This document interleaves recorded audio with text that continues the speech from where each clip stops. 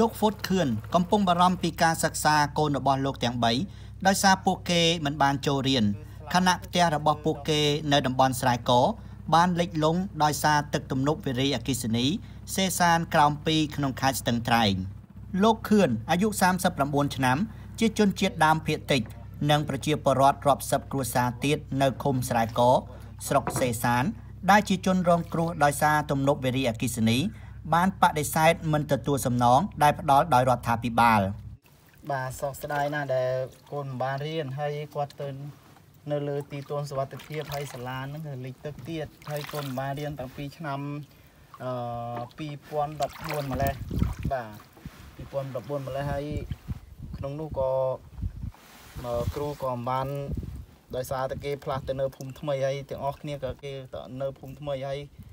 ហើយមួយទៀតគឺគេមិនអោយបង្រៀនដោយសារតែអ្នកអឺតតឹងជាមួយគម្រោងរាជរដ្ឋាភិបាលនៅតំបន់ស្រែកដែលកំពុងលិចទឹកនេះ ជាសហគមន៍របស់ជនជាតិដើមភាគតិច ដែលពួកគេបានរស់នៅយូរមកហើយផ្ទះរបស់ជនជាតិដើមភាគតិច សាលារៀនវត្តអារាម ដំណាំរុក្ខជាតិនិងភ្នោដូនតា ដែលពួកគេតែងមានជំនឿបានលិចលង់ដោយសារទឹកទំនប់ក្នុងចំណោមប្រជាពលរដ្ឋរងគ្រោះសរុប846គ្រួសារដែលរងផលប៉ះពាល់ដោយសារទឹកទំនប់នេះភាគច្រើនពួកគេបានសម្រេចទទួលសំណងរួចទៅហើយគឺការតាំងទីលំនៅថ្មីនៅកន្លែងដែលរៀបចំដោយក្រុមហ៊ុន ការផ្ដល់ជាផ្ទះដីភូមិនិងថវិកាមួយចំនួន។ លោកខឿនអះអាងថាប្រជាពលរដ្ឋជាង60គ្រួសារទៀតនៅតំបន់ស្រែកនៅបន្តទៀមទាសំណងឲ្យបានប្រសើរជាងនេះ គឺការផ្ដល់ជាថវិកាសម្រាប់ផ្ទះដីភូមិដីចម្ការ ដីស្រែនិងផលដំណាំដែលបានដេកលងសពថ្ងៃនេះលោកខឿននិងប្រជាពលរដ្ឋផ្សេងទៀតដែលមិនព្រមចាក់ចេញ បាននឹងកំពុងរស់នៅលើដីទួល ក្បែរតំបន់លិចទឹក ប្រជាពលរដ្ឋម្នាក់ទៀតគឺអ្នកស្រីណាតសូតាអាយុ65ឆ្នាំក៏បានបដិសេធទទួលសំណងផងដែររហូតមកដល់ពេលនេះ អ្នកស្រីកំពុងរស់នៅទីទួលក្បែរទឹក ហើយប្រកបការរស់នៅថ្មីនៅទីនោះ ដោយរងចាំដំណោះស្រាយខ្លាចបាត់បងដូនតានិងខ្លាចបាត់បងអត្តសញ្ញាណទៅពីគីដូនជីតាខ្ញុំមកហើយម្យ៉ាងកលែងក្រៈបូជាពួកខ្ញុំដូនតាពួកខ្ញុំគឺនៅនេះទាំងអស់ហ្នឹងហើយតាំងខ្ញុំមិនចង់ទៅថយមកខាង ពីមកទៀតគឺខ្ញុំនិយាយពីដើមហើយខ្ញុំគ្រាប់នៅមាត់ទន្លេទៅពីជីដូនទីតាមាត់ទន្លេស្រួលពីព្រោះពួកខ្ញុំជាស្ត្រីក៏ត្រូវរកសន្ទូចបានជាប្រុសក៏ត្រូវបានដែរប៉ុន្តែនៅជើងទឹកអញ្ចឹងវាស្រួលរកម្ហូបអាហារហើយនឹងថែមទាំងដំណាំដាំដុះយើងដាំហូបខ្លួនឯងក៏បានចុះទៅនៅភូមិថ្មីវាឆ្ងាយពីទន្លេហើយទឹកយើងក៏ទិញយកស្អីមកដាំនៅស្រោចបន្លែហូបគឺអត់មាននឹងហើយបើខ្ញុំមិនចង់ទៅអត់មានអីថ្នាំថ្នាក់ជាមួយរាជរដ្ឋាភិបាលឬក៏ អឺខាងអភិវឌ្ឍប្រទេសជាតិទាំងអស់ថ្នាក់ថ្នាក់ទេអត់ថ្នាក់ថ្នាក់គាត់ទាំងអស់ខ្ញុំពីងចិត្តដែរគាត់ធ្វើអញ្ចឹងពីព្រោះអាការពិតប្រទេសជាតិរបស់យើងខ្ញុំអត់ជំទាស់មួយគាត់ទៀតតែខ្ញុំខ្ញុំនៅនេះសុំទឹកដីធ្វើស្រែនិងធ្វើចំការហើយនឹងផ្ទះលំនៅឋានបើបានប៉ុណ្ណឹងអស់ហើយកសិករគឺអត់មានអីទៀមទាទៀតទេអ្វីដែលអ្នកស្រីបារម្ភជាងគេ គឺតំបន់ទីទួលនោះមិនទាន់មានហេដ្ឋារចនាសម្ព័ន្ធជាភូមិត្រឹមត្រូវ និងជាពិសេសក្មេងៗមិនបានចូលរៀន។ ចាបារម្ភហើយសប្ថ្ងៃហ្នឹងខ្ញុំខំតែអង្គបសុំគាត់រហូតអត់សុំតែគ្រូទេសាលាមានហើយខ្ញុំសុំតែគ្រូគាត់ដើម្បីអត់មករៀនមកមកបរៀនកូនចៅនៅនេះវា22នាក់តែក្មេងទៅចូលថ្នាក់សាលាបឋមសិក្សាតែធំធំខ្លះនោះនោះខ្ញុំសុំជូនទៅរៀននៅ100ខ្នងគេថ្នាក់ខ្ពស់ខ្ពស់ចៅខ្ញុំមាន2ទៅរៀន100ខ្នង2នាក់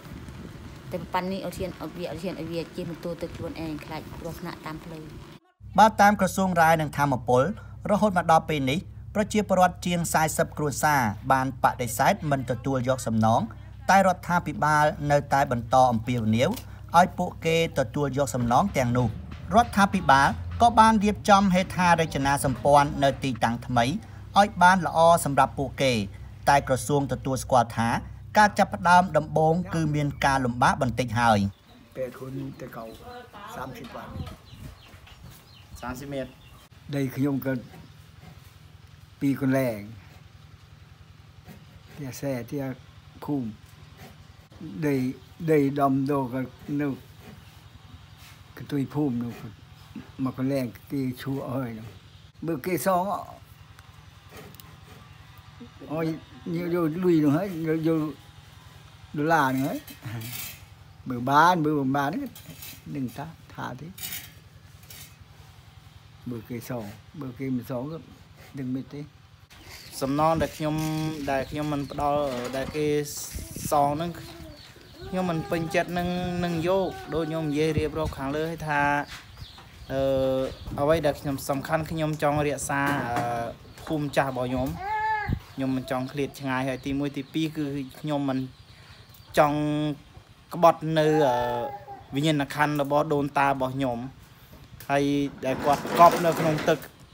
នៅក្នុងបាតទឹក4ម៉ែត្រទៅ5ម៉ែត្រហ្នឹងគឺគាត់នៅហ្នឹងពីមុនយើងធ្លាប់ទៅធ្វើពិធីសែនក៏ដូចជាធ្វើបុណ្យធ្វើទានតាមលក្ខណៈប្រពៃណីព្រះពុទ្ធសាសនាជាតិយើងចឹង